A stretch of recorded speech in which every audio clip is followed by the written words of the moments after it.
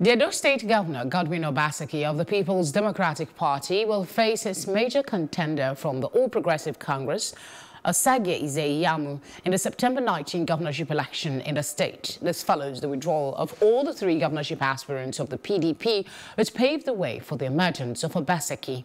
He became the lone aspirant for the race after ratification by party delegates following the withdrawal of his main rival, Kenneth Imansuagbon.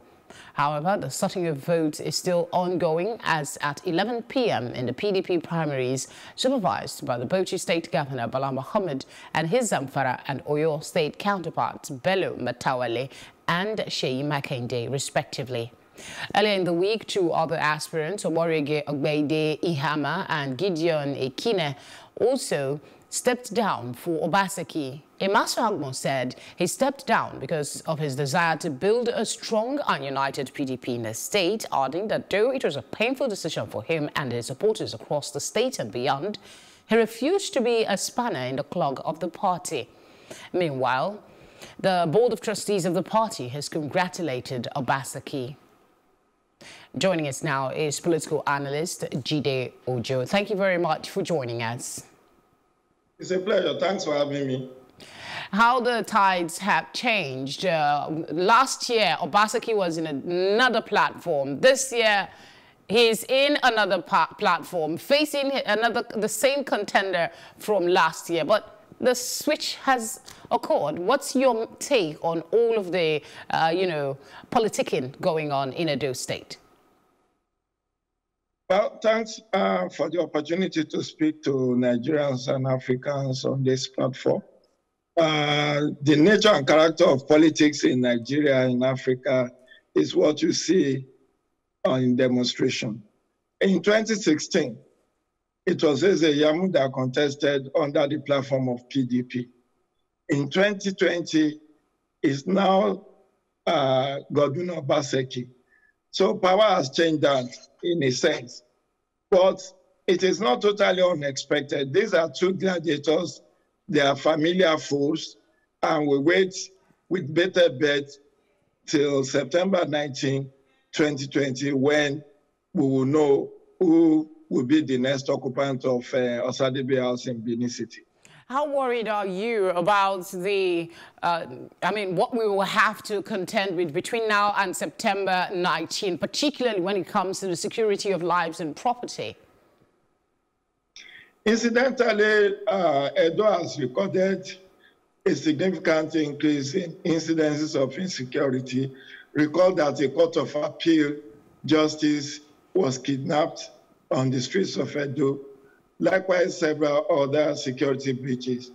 But uh, with the campaigns on now, uh, we do hope that the two dominant parties will play by the rules, will observe all the due uh, process, ensuring that they do not sponsor violence during the campaigns.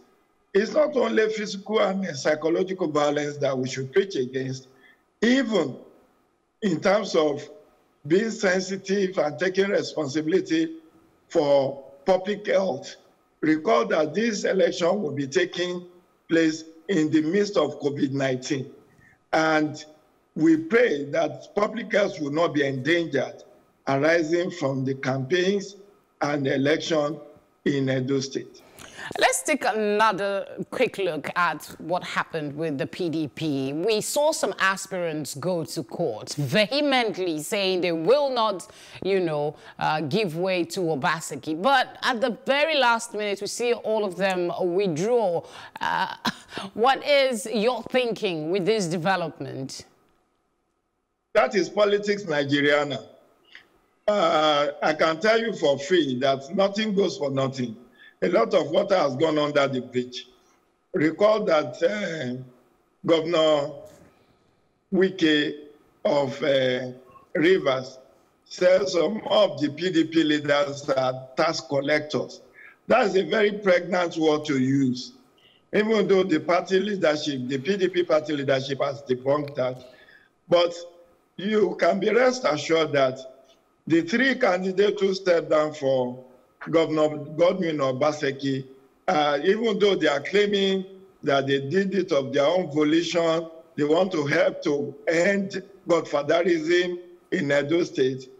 Uh, the rest assured that there are some horse trading that possibly have taken place behind the scenes. Does it worry you that in a multi-party system uh, like we have in Nigeria, we are only talking about the PDP and the APC in the Edo State governorship election? Uh, where are all the other parties? Where are all the other candidates? Well, the media is the one that is driving the agenda. Uh, a female governorship candidate emerged under the platform of AAC, and I think that female candidate should have been celebrated, should have been interviewed to ask for her agenda for Edo State. But you see, aside from being in a media creation, whether we like it or not, Nigeria at present is running a de facto two-party state. Although a de jure multi-party state, by law, Nigeria is a multi-party state.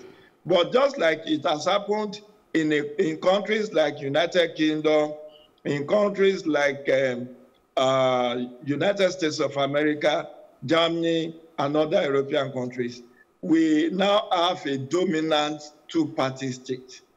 And that is why uh, these are the parties. Look at the last presidential election.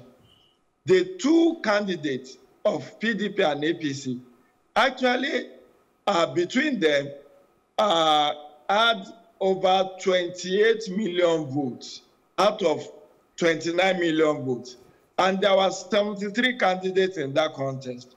So the remaining 71 candidates actually scored less than 1 million votes.